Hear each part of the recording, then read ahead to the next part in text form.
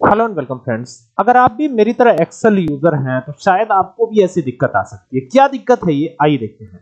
यहाँ पर हमारी एक्सेल सीट ओपन है। अब यहाँ पर देखिए, मैं एक नाम लिखता हूँ, ठीक है? हमें यहाँ पे लेन फ़ंक्शन का यूज़ करना है। लेकिन जैसे ही मैंने नाम लिखा, ये नाम गायब हो गया, ठीक है? फिर यहाँ पर आते हैं, यहाँ पे कुछ लिखते हैं। जैसे आर एम राम लिख दिया, फिर यहाँ भी गायब हो गया। भैया, ये क्या चक्कर है? हो सकता है कि यहाँ पे कलर चेंज हो जा रहा हो, लेकिन यहाँ पर जब आते हैं तो देखते हैं कि यहाँ पे कलर तो सेम ही है कलर तो सही है कलर तो कहीं चेंज ही नहीं किया हमने। यहाँ पर अगर मैं दूसरा भी कलर कर देता हूँ, तब तो आ जाना चाहिए। लेकिन यहाँ पर ये वर्ड शो नहीं हो रहे होते हैं, ठीक है? अब यहाँ पर देखिए, यहाँ पर भी लिखा ये भी गायब। तो यहाँ प्रॉब्लम क्या आ गई? फिर क्या ऐसी दिक्कत आ गई कि ये सारे गायब होते जा रहे हैं? जो भी लिख रहा हूँ यहाँ पे सब गायब, ठीक है? कोई नंबर में लिख रहा हूँ तो वो भी गायब, ठीक है? कोई अगर सिंबल बना रहा हूँ तो वो भी गायब। तो कुछ भी यहाँ पे शो ही नहीं हो रहा है। अब ऐसे में एक्सेल यूज़र्स को हो जाती है काफ़ी ज़्यादा दिक्कत। तो इस दिक्कत का सॉल्यूशन क्या है? समाधान क्या है?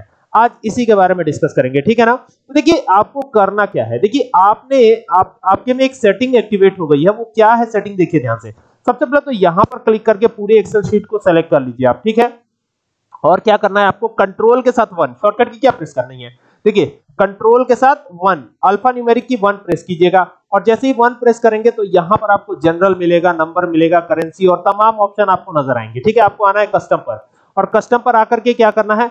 कस्टम पर आकर के आपको एक सेटिंग करनी है। जैसे मान लीजिए, ऐसे भी जा सकते हैं आप। आप राइट क्लिक करके फॉर्मेट सेल्स पे आके और फिर ऐसे भी जा सकते हैं, ठीक है? तो ये कस्टम पे आकर के आपको एक सेटिंग करनी है। देखिए, यहाँ पर तीन बार सेमीकोलन लगा दिया गया है और ये सेमीकोलन ही आपका डेटा शो नहीं होने दे रहा है। क्योंकि एक्सेल में तीन बार सेमीकोलन लगाने का मतलब है कि वहाँ पर कुछ भी प्रिंट ना हो, ठीक है? तो यहाँ पर क्या करना है? इसको हटाना है। यहाँ पर अगर आप ये सेटिंग कर देते हो तो गड़बड़ हो जाएगी। और यहाँ पे क्या रखना है?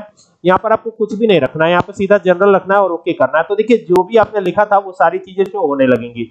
तो ये दिक्कत अगर आपको आ रही है तो आप ऐसे सॉल्व कर सकते हैं। ठीक है ना? उम्मीद करता हूँ बात समझ में आई होगी और ये एक्सेल की ट्रिक अच्छी लगी होगी। अगर आपको ये वीडियो अच्छी लगे तो इसे शेयर कीजिएगा। साथ ही साथ चैनल को सब्सक्राइब करना मत भूलेगा जिसका नाम है computer and Excel solution thank you